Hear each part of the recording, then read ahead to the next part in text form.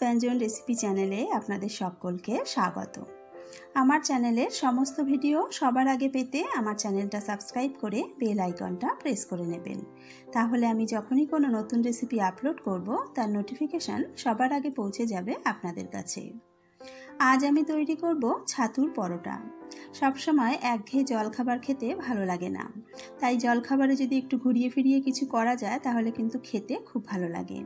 তাহলে চলুন দেখে নিই আমাদের আজকের এই ছাতুর পরোটার রেসিপিটা। আমি এখানে দু কাপ আটা নিয়েছি। আমি ছাতুর পরোটা আটা দিয়েই তৈরি করব। ছাতুর পরোটা কিন্তু ময়দার থেকে আটা দিয়েই খেতে বেশি ভালো লাগে আর খুব নরম হয়।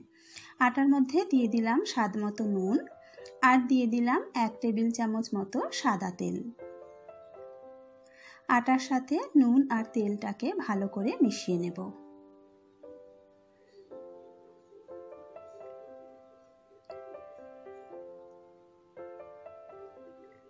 এবার অল্প অল্প জল দিয়ে আটাটা ভালো করে মেখে নেব।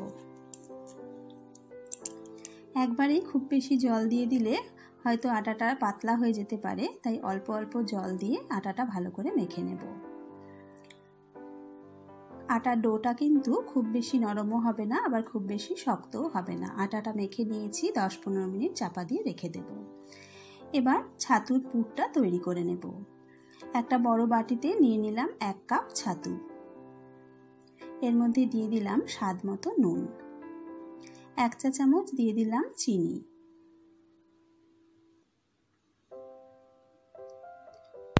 এবার এর মধ্যে দিয়ে দেব পেঁয়াজ কুচি। আমি এখানে পেঁয়াজ ব্যবহার করেছি। আপনারা যদি নিরামিষই করতে চান, সেক্ষেত্রে পেঁয়াজটা স্কিপ করতে পারেন। আর দিয়ে দিলাম আদা ও কাঁচা লঙ্কা কুচি। হাফ চা চামচ জোয়ান নিয়েছি, হাতে খুব ভালো করে ঘষে দিয়ে দিলাম। এবার দিয়ে দিলাম এক চা চামচ চাট মশলা। চাট মশলার পরিবর্তে আপনারা আমচুর পাউডার বা লেবুর রসও ব্যবহার করতে পারেন। এই চাট মশলা দিলে কিন্তু পরোটায় একটু টক টক ভাব আসবে, খেতে খুব ভালো লাগে। আর দিয়ে দিলাম এক মুঠো ধনে পাতা কুচি। এবার সব কিছু ভালো করে মিশিয়ে নেব। পেঁয়াজ, আদা, কাঁচা লঙ্কা দিলে দেওয়ার সময় কিন্তু খুব মিহি করে কুচিয়ে নেবেন, না হলে কিন্তু পরোটা বেলার সময় মাঝখান থেকে ফেটে যেতে পারে। এবার অল্প অল্প জল দিয়ে একটা ডো মতন তৈরি করে নেব। ডোটা কিন্তু খুব পাতলা হবে না, একটু টাইট ডো তৈরি করে নিতে হবে।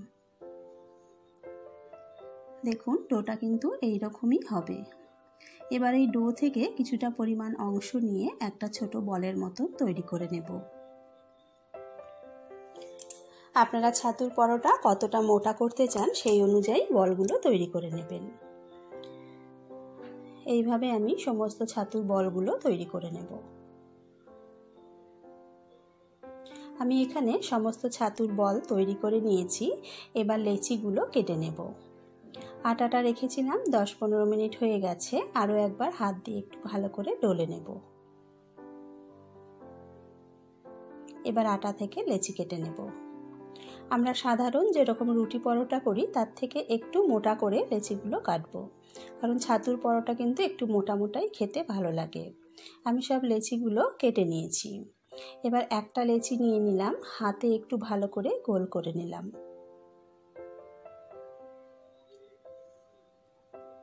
এবার মাঝখানটা একটু প্রেস করে তারপর ঘুরিয়ে ঘুরিয়ে আঙুল দিয়ে একটা বাটির শেপ দিয়ে নেব। তবে খেয়াল রাখবেন, বাটির তলাটা যেন খুব বেশি পাতলা না হয়ে যায়, তাহলে কিন্তু পরোটা বেলার সময় পুরটা বেরিয়ে যাবে। দেখুন, নিচের দিকটা একটু মোটা রাখবেন। একটা বাটি মতন করে নিয়েছি। এবার একটা ছাতুর বল নিয়ে এই বাটির মধ্যে দিয়ে একটু করে প্রেস করে চারিদিক থেকে টেনে টেনে আটা দিয়ে মুখটা জুড়ে দেব। মুখটা জুড়ে একটু গোল করে নিলাম। এবার হাত দিয়ে ভালো করে আরও একটু গোল করে নেব। এতে ভেতরে যদি কোনো ফাঁকা জায়গা থাকে, তাহলে সেই ফাঁকা জায়গাগুলো ভরাট হয়ে যাবে। আর ছাতুগুলো চারিদিকে ঠিকঠাক মতন সমানভাবে স্প্রেস হয়ে যাবে। এইভাবে আরও একটা আটার মধ্যে পুর ভরে নেব।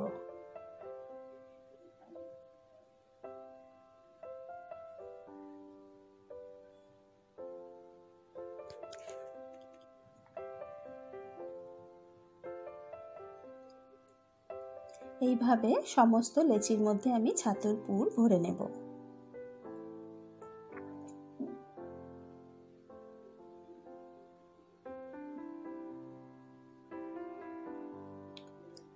আমি সব লেচির মধ্যে ছাতুর পুরগুলো ভরে নিয়েছি। এবার চাপা দিয়ে রাখব। একটা লেচি নিয়ে বাকি লেচিগুলো কিন্তু চাপা দিয়ে রাখবেন, তা নাহলে কিন্তু ওপরটা শুকিয়ে যাবে। এবার সামান্য একটু আটা দিয়ে পরোটাটা বেলে নেব। হালকা হাতে একটু প্রেস করে করে পরোটাটা গোল করে বেলে নেব।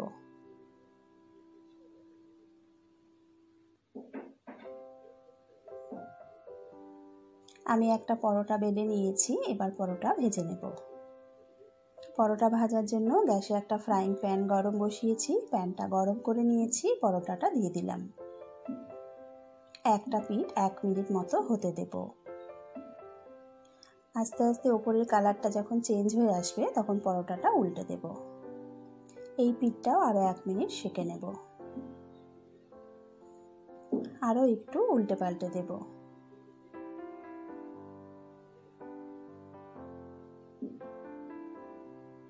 এবার ওপরে সামান্য তেল দিয়ে দিলাম। তেলটাকে পরোটার চারপাশে ভালো করে মাখিয়ে নেব।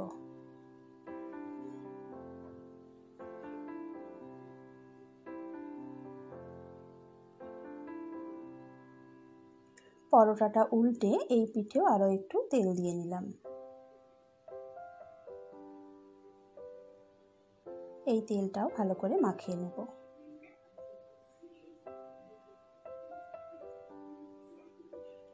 এইভাবে উল্টে পাল্টে দুটো পিঠ বেশ লাল করে পরোটাটা ভেজে নেব। চারপাশে একটু চাপ দিয়ে দিয়ে দিয়ে দিয়ে ভাজলে কিন্তু পরোটাগুলো খেতে খুব ভালো লাগে।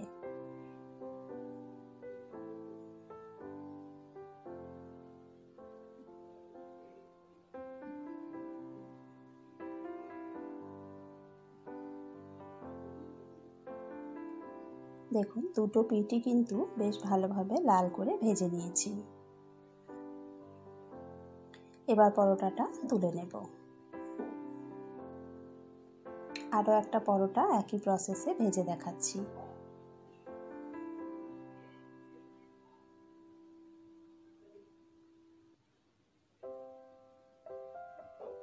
পরোটা ভাজার সময় কিন্তু গ্যাসের ফ্লেমটা মিডিয়ামে রাখবেন, নাহলে কিন্তু পরোটাগুলো পুড়ে গেলে খেতে ভালো লাগবে না।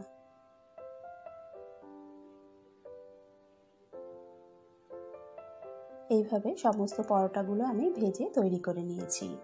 তৈরি হয়ে গেল আমাদের ছাতুর পরোটা। এই পরোটাগুলো খেতে কিন্তু খুব নরম হয়।